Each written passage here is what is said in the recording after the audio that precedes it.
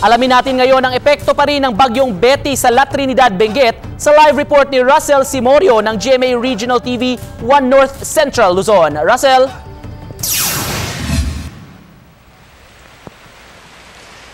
Nico, ramdam na ramdam na dito sa La Trinidad Benguet ito ang bagsik ng bagyong Betty. Sa mga oras na ito, nakakaranas tayo ng malakas na buhos ng ulan at malakas din na hangin. Nagsimula itong maranasan kahapon pa ng tanghali. Kaya naman, ang mga residente kanya-kanyang diskarte para lagyan ng tali ang kanilang mga bubong na mga farm at kanilang mga pwesto para hindi pa rin ng malakas na hangin.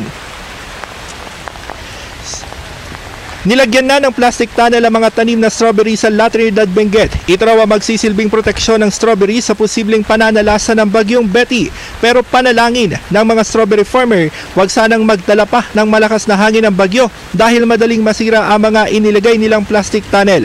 Kada linggo ang schedule ng harvest ng strawberry sa La Trinidad pero dahil sa bagyo, posibleng wala silang maani. Bukod sa mga tanim na strawberry, nilagyan na rin ng plastic tunnel ang mga tanim na gulay dito sa La Trinidad Benguet. Nico, ipakita ko lang sa inyo itong kasalukuyang sitwasyon ngayon dito sa La Trinidad Benguet. Kung mapapansin natin, ito yung mga strawberry farm na nilagyan na nila ng plastic tunnel. Ito yung nagsisilbing proteksyon ng mga tanim nilang strawberry sa buhos ng ulan. Pero ang uh, nagiging problema dito uh, Nico, yung mga iba kasing uh, farm ay walang mga inilagay na plastic tunnel kaya sa mga oras na ito ay nasisira na yung kanila mga tanim na gulay at strawberry. Kanina Nico, nag-ikot tayo sa ilan pang farm dito sa La Trinidad Benguet at talagang nakita natin yung mga magsasaka ay talagang puspusan na yung kanilang pag-harvest doon sa kanilang mga tanim na lettuce. Napansin din nila na unti-unti nang nabubulok yung dahon ng lettuce dahil naapektuhan ng ulan. Yung mga tanim na lettuce na ito, ito yung uh, mga farm